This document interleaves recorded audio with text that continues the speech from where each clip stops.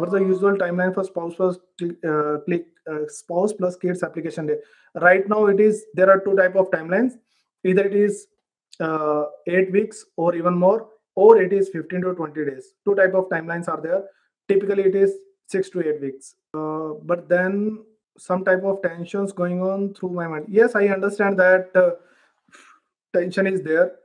You may be anxious while while doing your application until unless you reach Canada and until unless everything is sorted. But here, uh, uh, sometimes you need to take this type of decision. I also took it because everyone was stopping me. Uh, don't go on study visa. You will get direct PR as well.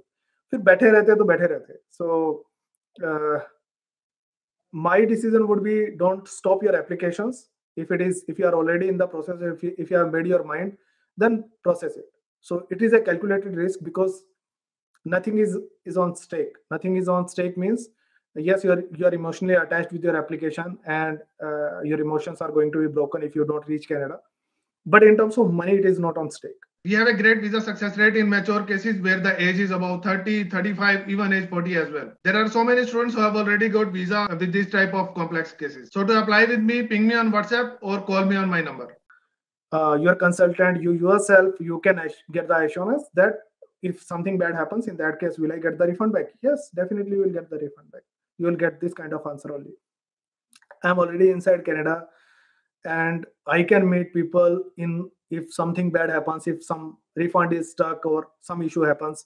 And we have well wishers knowns friends family members everywhere almost everywhere. And traveling inside canada is also not really difficult. It can be done.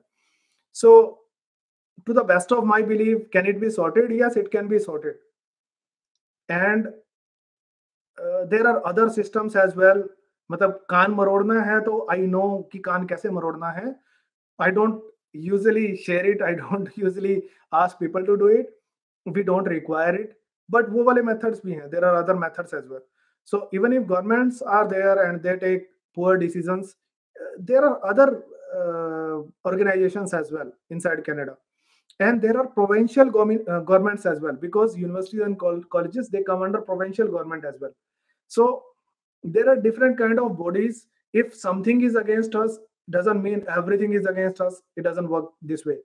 So uh, if if the entire student community is against the entire government provincial government and the systems what is going to there will be a big chaos inside canada as well. No one can bear it there are millions of students inside canada it cannot it cannot work out this way so uh, students are powerful it's just that students are scattered they don't do anything foolish and they are scared of doing uh, foolish things because until unless we get the PR, we are scared of things. But if something goes really extreme, in that case, there is no other option but to revolt. So I am not afraid uh, of these type of actions by any government. These are extreme steps. I'm assuming it will not happen. It, even if it happens, that we have again we have cushion for our funds, for our money, whatever we are depositing in different banks or uh, to the colleges and universities as well. So proceed for the applications. I will not stop because again, it is from my side calculated risk. You need to take risk. Sometimes it is bit higher, sometimes it is bit lower, but in all decisions, risk is there. You should take it and proceed. And uh, question is there that I am assuring you. Uh, before proceeding, just save the admission helpline and visa helpline numbers. It can help you in uh, connecting with me or the visa team in future. So just save these numbers. Thank you so much for watching this video till the end. See you in next video.